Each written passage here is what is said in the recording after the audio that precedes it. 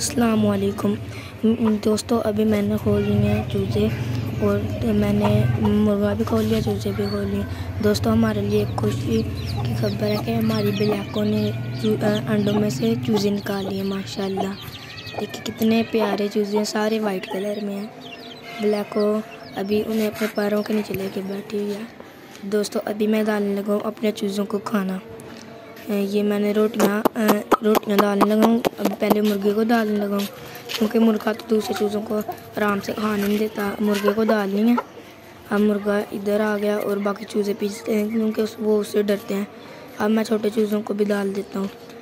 मैं साइड पर करके डालता हूँ ताकि वो आराम से खा लेंगे। मैंने अब रोटियाँ ले ली हैं, सूखी कोई सख्त भी हैं रोटियाँ और नरम नरम नरम उठा ली हैं चूज़ों के लिए।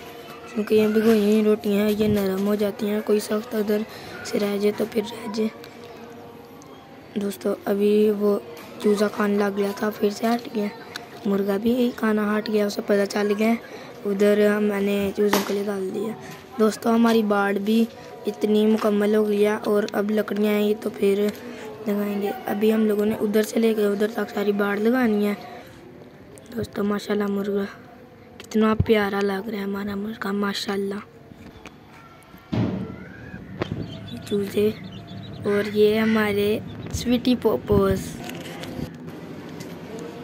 दोस्तों हम तो पेट्स लवर हैं एच एस पेट्स लवर हैं, और अगर भी आप पेट्स लवर हैं तो हमारे चैनल को कर लें सब्सक्राइब मिलते हैं अगली वीडियो में, और आपने कमेंट में ज़रूर बताना कि आपको ऐसे की वीडियो पसंद है।